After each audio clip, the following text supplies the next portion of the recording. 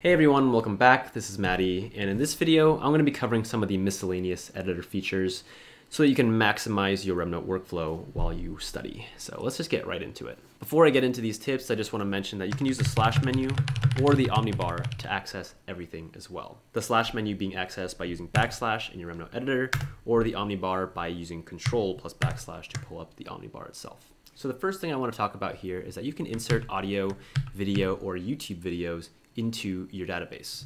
This can be helpful for any number of reasons. If you want to include videos in your notes, if you want to include YouTube videos in your notes, anything like that. So let's go ahead and do so by using Control plus E or Command plus E, which is the hotkey for it. And I'm just going to insert a YouTube video, the latest one that Mike just did that's on YouTube right now by pasting the YouTube URL right into here.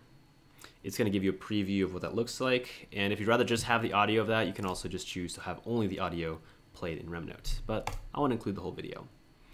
Go ahead and insert that, and you can also resize it if you need to to show up in your knowledge base, just like that.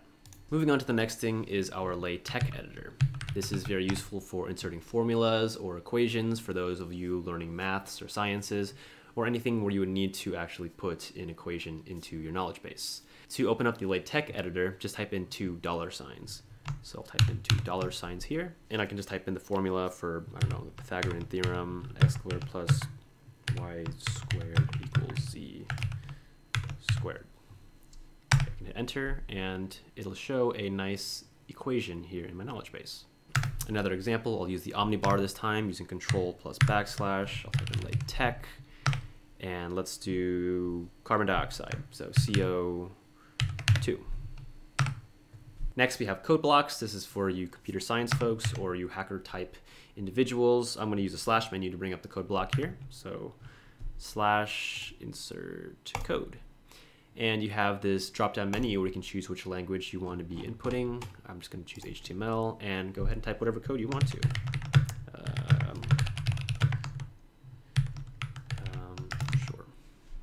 All right, next are emojis. Emojis are actually a pretty cool feature in RemNote because they act very, very similar, actually identical to Rem references. If you're unfamiliar with Rem references, definitely check out that video here.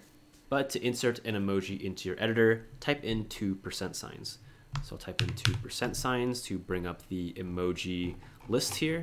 And you can even just type to search in for whatever emoji you want. So let's choose fire and hit enter to enter it in. And when you insert an emoji, it also acts as a reference. So for example, I can hold shift and left click on this fire emoji to bring it up in a second pane. And I can see all the other times I've actually used the fire emoji in my knowledge base. And I can link them together, I can find backlinks, and I can actually type some information into this rem. And just like rem references, if I right click on the fire emoji, it's going to show me a preview of that document. Fire is cool where it's been referenced, and some other reference options right here. Really handy feature for classifying REM in a more visual way. So next you can also make a few cool symbols in RemNote. You can make greater than or equal to, less than or equal to, or these two arrow symbols using a combination of equals and the angled brackets. So let's say that I'm in math class and I need to answer this equation. 5 is greater than or equal to x plus 2, for example. So I'll type in 5 and then I'll use greater than and then equal sign to make the greater than or equal sign, x plus 2. To make the arrow instead, let's say I want to do a goes to b, I'll type in a, and this time I'll do equal sign first, and then the angled bracket, and I can hit b. So using any of the four combinations of equals and the less than or greater than angle brackets, you can make these four symbols here.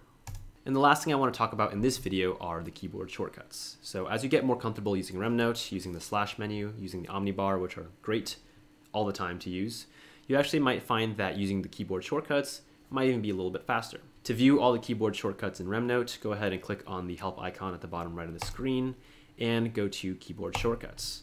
And here, you can view all the keyboard shortcuts available for you to use in RemNote, and you can even fine tune your search if there's something specific that you're looking for. But let's say that you also want to change one of the keyboard shortcuts. Well, you can do that too.